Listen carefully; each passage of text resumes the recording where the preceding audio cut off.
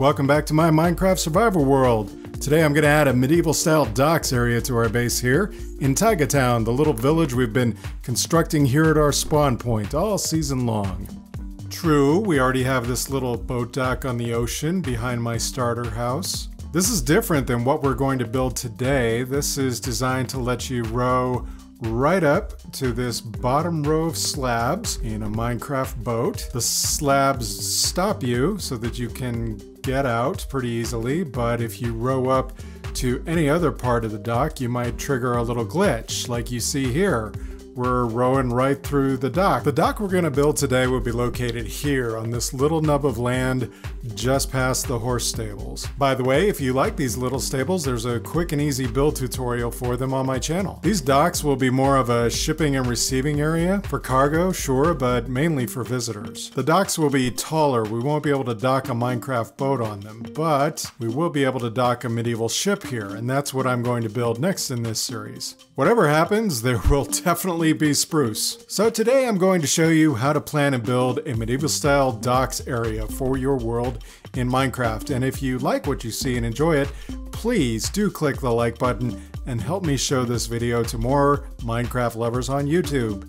But this piece of land makes it difficult to visualize a wharf here. That's the word I was trying to think of. What I actually think I'm talking about here is a wharf. But this land we have to work with here is just not very substantially built up naturally. It just slopes too much. It slopes too much this way, and it slopes too much here on this side that's closest to the ocean. So the first thing we need to do with this land is terraform it. First I moved some sand around, just trying to make the beach line look a little better. After a visit from a wandering trader who sold me some nice items before I murdered him and his llamas, I started drawing a stone line around this little piece of land between the ocean and the river. This line will form the basis of a stone retaining wall just like the one we built along the river a few episodes ago. Now I'm going to raise the stone wall four blocks high and then I'm going to dig out all the sand below the beach. Sand being a valuable resource to a guy who still hasn't found a desert in his survival world. Once the sand's all dug out, I start the process of refilling it with dirt. But pretty soon here, I mistakenly thought I'd run out of dirt, so I started filling in with stone. I intentionally left the top level empty so that I could cover with grass blocks and what little dirt I had left. While filling in the top layer with dirt, I suddenly realized that I was going to have to move back the slope, and since that would be a great way to regain some of the dirt and grass blocks I'd used so far, I started digging below the stables. Now I started texturing the stone retaining walls the same way I did along the West River by mining about 50% or more of the stone and replacing it with a mix of andesite, cobblestone, and all varieties of stone brick. I tend to get a little artsy and picky about this process and it took me way longer than needed. Just like the other retaining wall, I'm going ahead and adding half slabs to every other block along the top. I'll probably have to take back quite a few of these later, but it's fine because I want to establish the pattern for now. With the retaining wall all done, I decided this area below the stables would be better served by another, shorter retaining wall dividing the top level from the bottom. I added a nice stone brick staircase from the upper to lower area, and then of course I replaced some of the stairs and wall blocks to add texture. After that, I just went around fixing things until I felt we were in good shape. We should have taken this step a long time ago. This is now a huge piece of land. I love this upper level retaining wall in this curve part with the trees. This is another like surprise that occurred to me while I was in the midst of building. And I can't believe that I planted a birch tree here. It just, it stands out so well. I'm not a big fan of birch, but it really does look good. Unless I turn this way. And then, well, it kind of blends, of course. I'm really liking these textured stone stairs. And I connected the path to it up here at the top and added some extra stone and some extra plants over here. This is so big. Several buildings could be built in this space, which I was not anticipating. So let me do a little bit of layout, maybe plant a few more trees in the area here and figure out what I'm going to build in this uh, big new space that we have here and where. Obviously, the first thing we need is the wharf itself, which will just be a long wooden platform extending out into the ocean. Seems like the ideal spot would be like right here, which is kind of in the middle of the wall, but we'd have less space to lay out stuff. I, you know, I don't think we need all that much space. I think if the building kind of like if there was a building back here and it kind of came out this far, I think that'd be okay. All right, so I'm going to do a little bit of layout in this area. I'm going to build the dock and I'll be back in just a few seconds. All right, guys, so the dock's all done. Docks not being a very difficult thing to build. So they're just, you know, there's some standing on the beach here. There's some down in the water. Take a little swim down here. Hopefully there's no drown. But yeah, uh, I made sure to dig out. So yeah, as you can see, I dug between the sand there and the sand there. I definitely wanted to make sure that all of the posts were sunk into the ground. And as you can see, I've got some nice supports under here. So there's a stripped spruce log there, and then there's some stairs on either side of it, and then there's some stairs up against it. So this is a well supported dock. I've used trapdoors uh, going in spruce trapdoors going in different directions to kind of try to break up the pattern a little bit. I didn't want it to become too plain. And of course, we need to use some lanterns just to light this up. Uh, this is by no means final. When we build a boat out here, we might add some more details to this dock. We're definitely going to add some crates. Uh, I'm using note blocks as crates in my world. And we're also definitely going to use some chests to make it look like the boat's being unloaded and then everything will be carried over here. All right, so we are definitely ready to moor a ship here or dock a ship here, whatever you want to call it. And uh, we will be doing that in the next episode. So now I had to tackle the rest of this because we built up this area and it, I we had much more space than I was expecting. So uh, I came up with this kind of makeshift plan. We're going to build a warehouse in this area. So this is kind of big and it doesn't look like a warehouse right now, but this is just the ground floor plan. So uh, I'm not going to use plain stone to build it. I think I'm going to use a combination of cobblestone and brick up top. So here is the side entrance. And then when you get in here, there's going to be stacks of double chests, three by three stacks of double chests uh, all the way down here. So I got to finish making all the chests. And as you can see, all the chests are sitting on top of little uh, tables. That way, if the, you know, if this area was ever flooded or if the warehouse ever got wet or anything, none of the chests would be damaged. And that way, everybody who is keeping stuff here would be well protected. So then we're going to have ladders in a couple places. Uh, we'll have another ladder between these and one over there. And then we'll have a big ladder uh, here. And this will be about the height of the upper level. The upper level will have a uh, like a loft. Um, it won't matter as much what goes up here because, I mean, we'll have so many double chests down there. We surely don't need as many double chests up here. So we'll have a lot of barrels and a lot of blocks and a lot of items. And what I want to have is like right down here in this area, actually floating above that area right there, I want to have like a winch arm that extends out and I want it to be lifting up a pallet of items. And so the up on this upper level, there'll be a bay door right here that you will, uh, you know, pull up the pallet of items and then you'll roll it in and then you'll unload it here in the warehouse. And then also on the second level here, I want a balcony that goes out this way. I think we'll probably just have a series of archways that go out to a balcony that will straddle this area. So this will be a series on the lower level. There'll be a series of stone archways between each of these two blocks and also between these blocks going all the way down. And then above that, there's going to be like a little wooden deck, a little little balcony where you can just kind of come out and stare at people and stare at the rest of the town over there. I think that'll be nice. So then this layout uh, is a little bit less developed. This is, I actually had a very similar layout like this over there where the warehouse is just a few minutes ago, but I tore it up when I had the idea to make it a full scale warehouse. Uh, so what I was going to do was have a series of shops over there and a series of shops over here, but I've abandoned that idea. I don't think, I mean, we have a shopping area. We don't want to take away from the villagers who are already selling stuff there. So I think this is just going to be a series of premium storage bays. So if people don't want to store their stuff in the warehouse with all the other items from all the other travelers, then they can get a premium storage bay here and uh, we'll have like uh, garage doors made out of like trapdoors, uh, raised trapdoors going all the way up. We'll have one of them a little bit open, and then we'll have it full of items and stuff like that. We'll probably just have the other two closed. And I'll probably put some uh, torches in there just to make sure that they're spawn proof. All right, so now I've filled up my inventory with a stack of uh, cobblestone and a stack of polished andesite blocks. I'm going to replace all of these protruding blocks with uh, polished andesite, and I'm going to replace all of these walls, all along the lower wall here, with uh, cobblestone.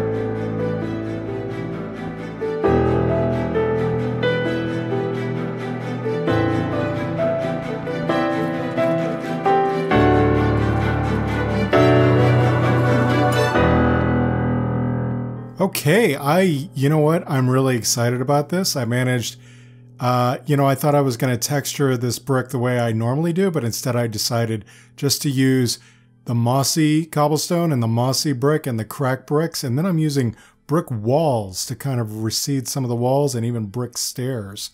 I'm liking this. Guys, I'm really liking this. And if you're liking it too, please consider clicking on the like button. That would help me show this to more people and I would really appreciate it. And this is like, I mean, this is impressive. In fact, when we get a roof on it, it's going to be more impressive. So what I want here is to simulate like a couple of big doors that are open. Okay, well, maybe they're not all open. Maybe we'll make this one like, you know, we'll make a, okay, so kind of like we did with the barn doors, right? So just to show you guys who didn't see my barn tutorial, what I mean, these are the barn doors, right? So one is, you know, two wide and the other one is one wide. But it's obvious that you could probably close this one, swing it shut, and they would probably latch together and this barn would be closed up for the night. Uh, so I'm going to do something similar over there, but I'm going to have them be open. All right, yeah, so we're going to have one open on this side since that'll look, you'll, it'll be better. All right, let me just show you. So, uh, and then to put more trapdoors, we're just going to shift click on top of these. Uh, we're going to have to get up high. Well, I might just be able to jump it. Let's see. Yeah, I can just jump it. I can bounce, bounce, bounce. Okay. All right, so that's a door, right? And now we just need another one here, but I want it to be open. And no, I'm sorry. This one closed, obviously. Oh, no.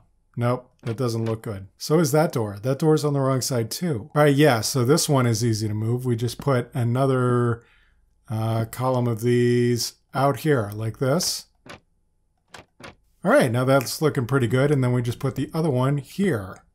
All right, there we go. So that's one door closed and the big door open and it opens outward.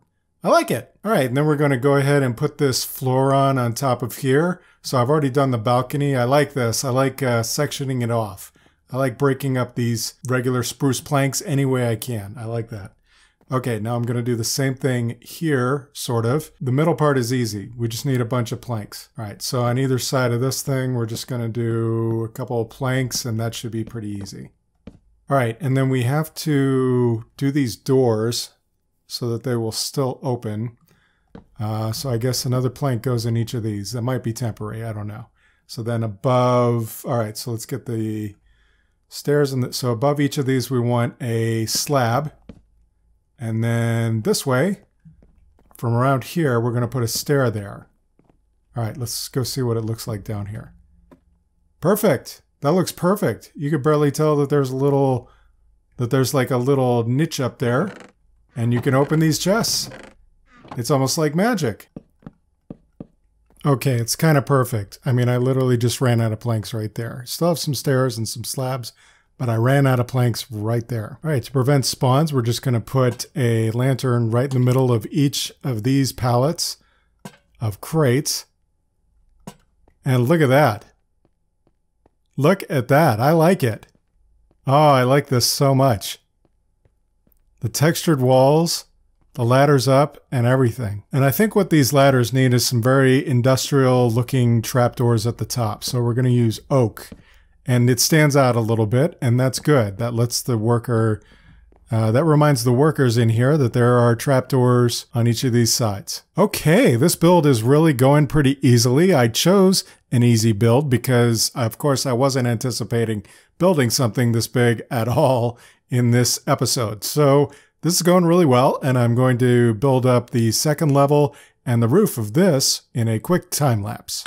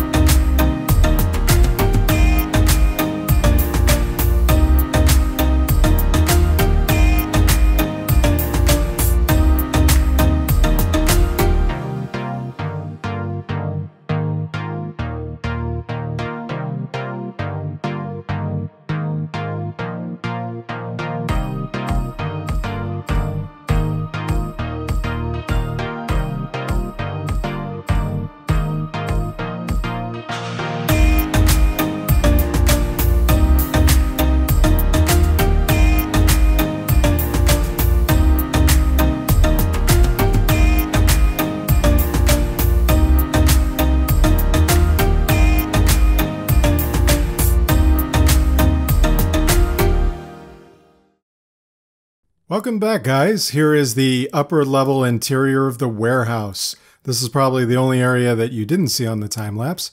Uh, here it is. Here is my winch for uh, for pulling items up, and here I have a pallet uh, full of cargo, cargo boxes, crates, barrels. Yeah. So this, this the idea here is that you would pull on this chain, pull stuff up, and then uh, maybe there's some kind of uh, rudder under here. We don't really have that kind of uh, thing that we can build in Minecraft, but maybe there would be like some sort of uh, like uh, track to pull it back along. So this wheel would pull back and then you could put the pallet down on the ground in here. Otherwise, yeah, here is the, the balcony. And then I've just got stacks of stuff everywhere. So we got wheat, melons, pumpkins. Oh yeah, back here I even put a couple of empty shulker boxes just, you know, because we have all kind of storage. This is all empty, but you know, it looks good sitting here and, you know, fills up the space pretty nicely. The pallet of course looks even better from the from the lower level, you know, suspended up above there. You're like, "Oh, wow, is that really safe to uh to cross under?" And I've done some uh, terraforming here, so I did some additional work on the dock. We've got some anchors here looking like uh, things that you could possibly tie a large vessel to and that they might hold it here. So that's better. Put some crates and uh, some chests here just to show that like, you know, cargo's being unloaded. It's probably being carried down the dock and dropped here. Waiting for the next pallet. We got more stuff that didn't make this pallet. And then I uh, textured the ground here with a mixture of cobblestone, stone, path blocks, and some andesite. And also uh, worked on this area a little bit, put some bushes over here to sort of reinforce this edge just to kind of keep people from walking off here. And uh, also kind of continued this along here. And then here's the little building. I went ahead and built this off camera. As you can see, it has a uh, has a blackstone roof too. That's a regular blackstone up there, and it has three bays. Um, these two are empty, but they're like shut, you know. So it just from appearances just appears to be shut up. And this one, the door is open and it's open outward. And here's the little storage bay. So here's somebody's storing their pumpkins, and there's a little table in here that's holding them off the ground, of course, so that they don't get wet. Uh, very important to keep your pumpkins dry, I would imagine. There's still a lot to do here. Um, I need to, there's, it's very dark here, actually. I put a light over here by the stairs, and that's nice, but right in this area is basically a spawning ground, so uh, I'm going to need to do my little trick with uh, digging up some of the dirt here and replacing it with jack-o'-lanterns that uh, light up the area and covering those with green carpet. Can also do it here with jack-o'-lanterns in the pavement and gray carpet on top of them. And we need a couple of other things here.